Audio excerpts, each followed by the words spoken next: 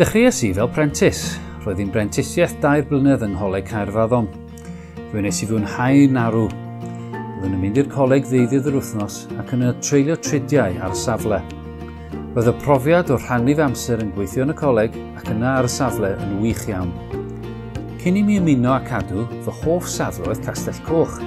Y Castell Coch hanesyddol ar y Bryn, mae'n safle brydferth. Ond nawr, ar ôl gweithio yng Nghastell Casgwent, hwn yw fy ffefryn erbyn hyn. A hynny oherwydd yr olygfa ohono. Pan oeddwn ni'n gweithio ar y wal gyswllt, gallwn weld dros y dref gyfan a dros yr afon hefyd. Mae'n hardd iawn. Fe wnes i fwynhau gweithio yn y bati Castell Nedd hefyd.